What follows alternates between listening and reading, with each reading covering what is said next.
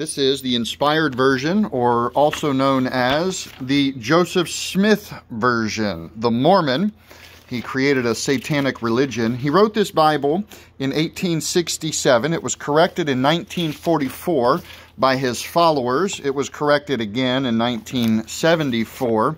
There's a lot of strange things in this Bible. Let's start with Genesis 1 1.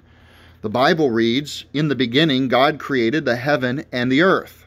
Notice one heaven, one earth in the beginning. What does Joseph Smith say? And it came to pass that the Lord spake unto Moses, saying, Behold, I reveal unto you concerning this heaven and this earth, write the words which I speak. Now, why would Joseph Smith teach this? Because he believes, if you're a good Mormon, you can be the God of your own planet, and it will be populated with millions of virgins, and you reproduce spiritual children for the rest of eternity. What a pervert.